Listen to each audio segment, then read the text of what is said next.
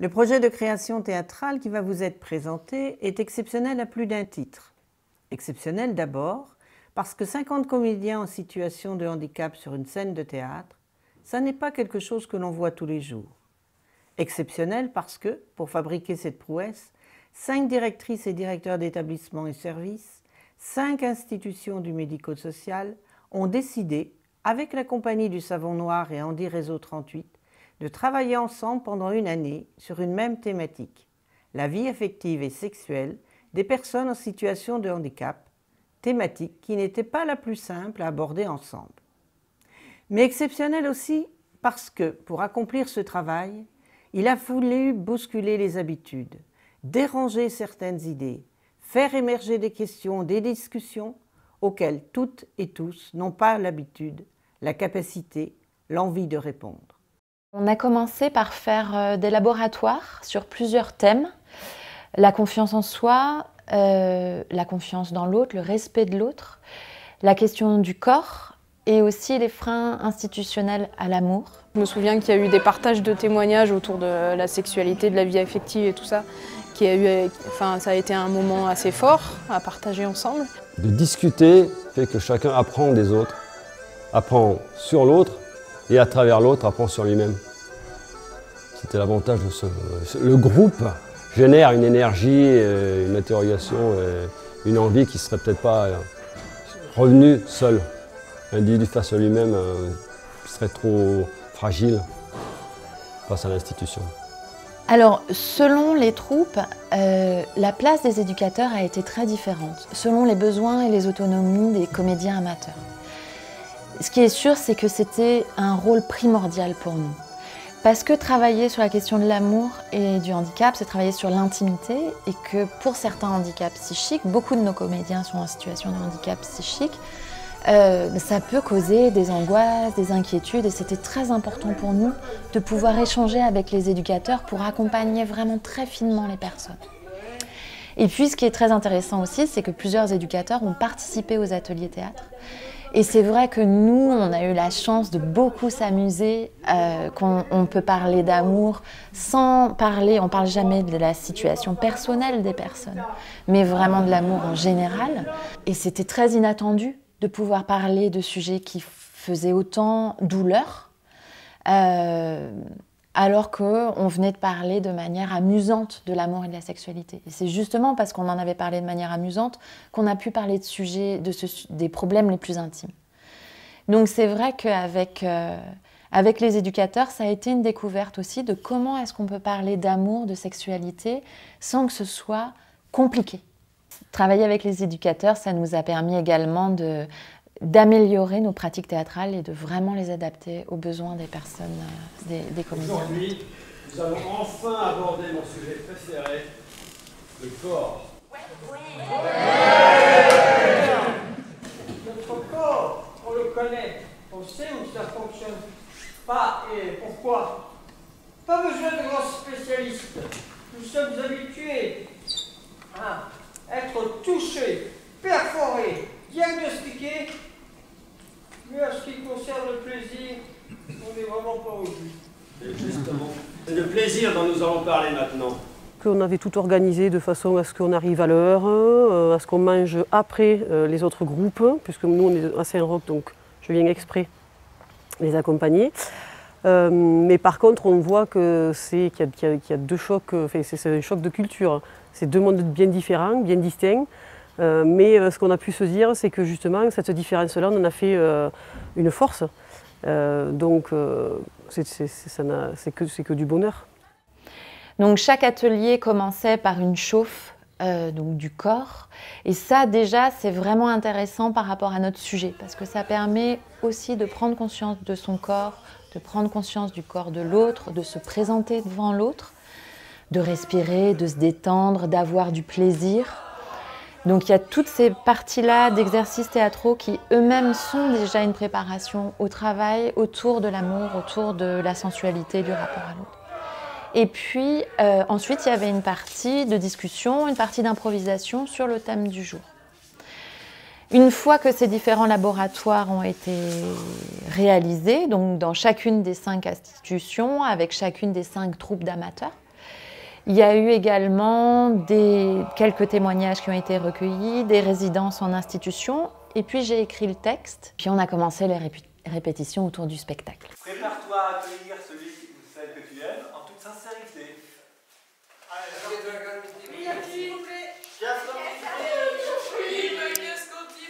Ben, le projet avant tout, euh, ça leur permet euh, ben, déjà euh, de travailler sur le lâcher prise. ça leur permet aussi de travailler un peu de, pour vaincre un peu leur timidité et le regard de l'autre. ça permet avant tout, pour le coup, de parler de, l'amour, de la sexualité, des sentiments, des relations donc amoureuses.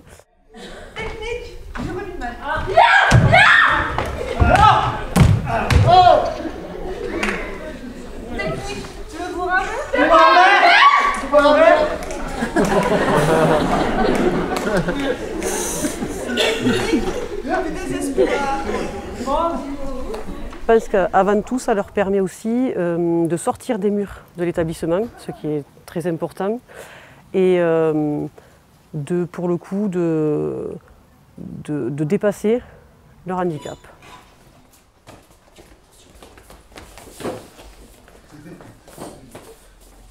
Déjà une belle aventure humaine, euh, un défi un petit peu parce qu'en fait euh, ils ont pas les, personnes que j'ai accompagnées n'ont pas forcément l'habitude de, faire du théâtre. Donc il y a tout un travail euh, de texte, de lecture, de mémorisation, de jouer, de prendre la parole en public. Et puis ça apportait aussi euh, ben, de parler de choses, de questions intimes qui sont rarement abordées en fait. Donc là, ben, on a pu y aller et euh, ben, on a pu faire tomber des tabous ou alors poser des questions. Des fois, c'était, euh, des fois ça faisait peur, mais des fois c'était rigolo.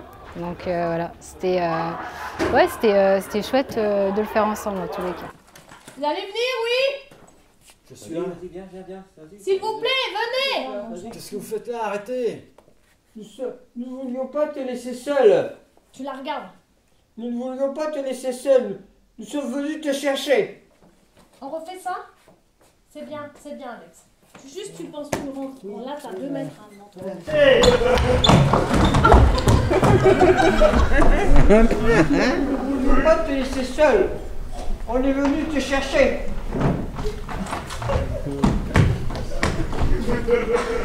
Quoi? et puis aujourd'hui, on en est aux répétitions générales. On a répété un petit peu comme un orchestre philharmonique, c'est-à-dire que chacun a répété sa partition dans son coin. Et puis nous aurons deux répétitions seulement pour mettre tout ensemble et faire se rencontrer euh, tous les comédiens avant le spectacle final. L'autre moment fort, c'est quand on s'est tous euh, rencontrés avec les autres euh, structures.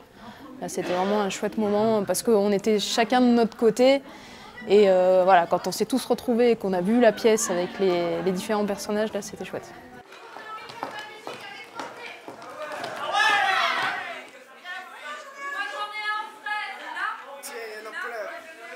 Été enrichissant de rencontrer plein de monde.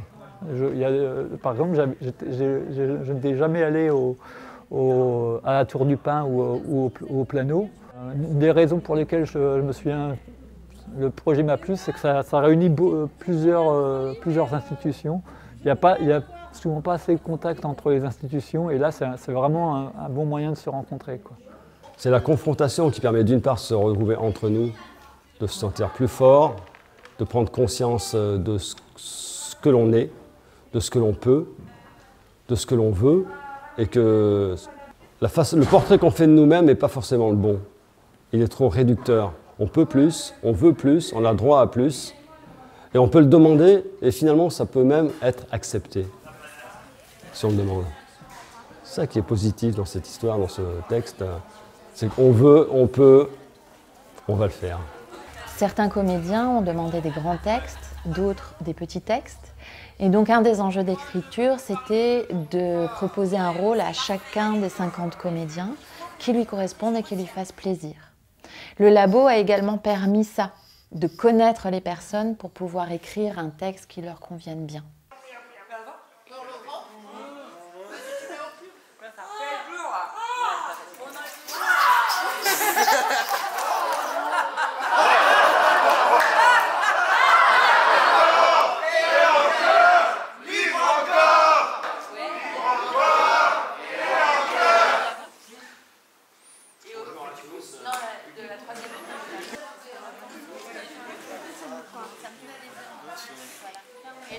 Discuté aussi de ce qu'on voulait, de ce qu'on attendait, de ce qu'on espérait, de ce qu'on pensait pouvoir faire.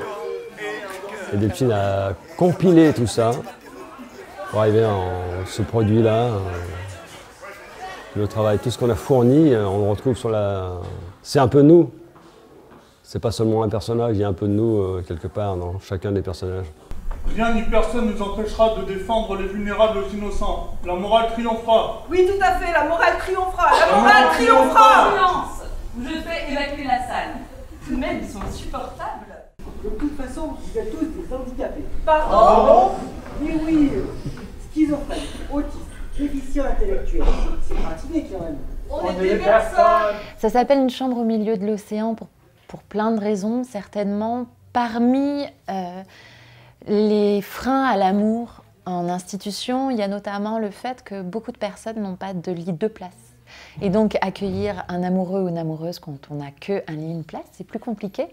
Et aussi, il existe des institutions où on ne peut pas accueillir son amoureux ou son amoureuse la nuit dans sa chambre, surtout si euh, il ou elle habite en dehors de l'institution. Ça complique euh, considérablement les, vies amoureuses. Et beaucoup euh, de, personnes, de témoins nous ont parlé de cette difficulté-là. Et puis, la chambre au milieu de l'océan, c'est un petit peu le rêve romantique. Donc, on ça nous a inspiré poétiquement pour la création de ce spectacle, qui se passe par ailleurs dans une chambre d'assises où il y a beaucoup de péripéties tumultueuses. Encore une chambre au milieu de l'océan, mais cette fois-ci une chambre juridique. Vous leur interdisez notamment d'accueillir des personnes dans leur chambre la nuit nos financeurs nous l'interdisent pour des risques de raison incendie.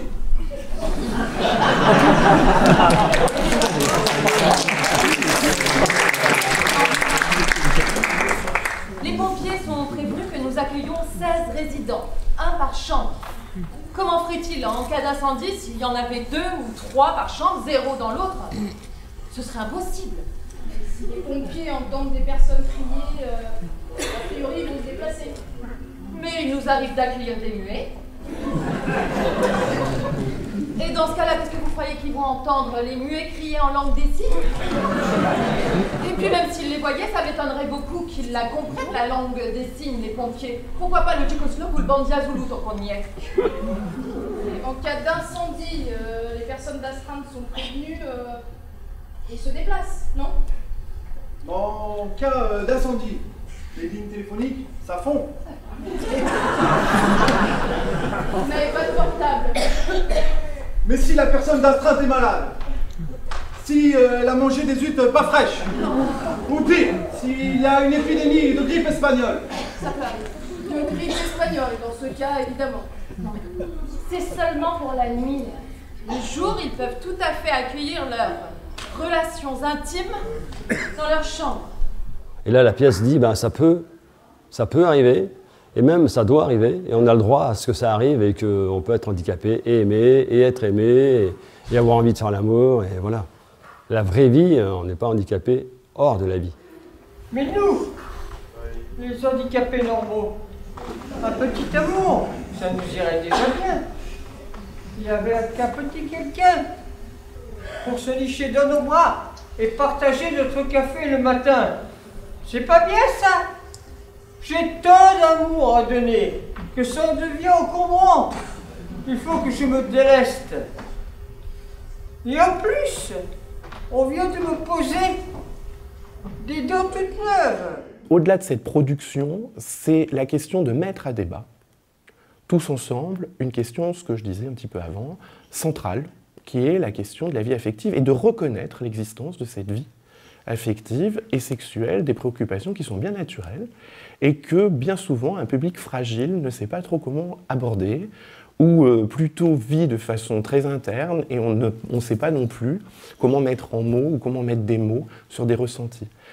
Le fait que ce soit une production théâtrale et que ce soit public et joué et parlé ensuite, ça crée du débat, ça crée une reconnaissance nous semble-t-il, en tout cas, et la possibilité de créer des conditions d'expression pour nos jeunes, de façon à ce que derrière, nous, on puisse reprendre avec eux. On travaille maintenant avec des plannings familiaux, on travaille avec euh, d'autres intervenants parfois, pour essayer d'aider aussi euh, les familles à aborder cette question centrale de la vie de leurs jeunes, qui, euh, quand la personne handicapée est vécue comme à protéger, sur cette question aussi doit être protégée en étant informée et préparée, et en tout cas, à minima, écoutée sur ce qu'elle vit, ce qu'elle ressent et ses envies.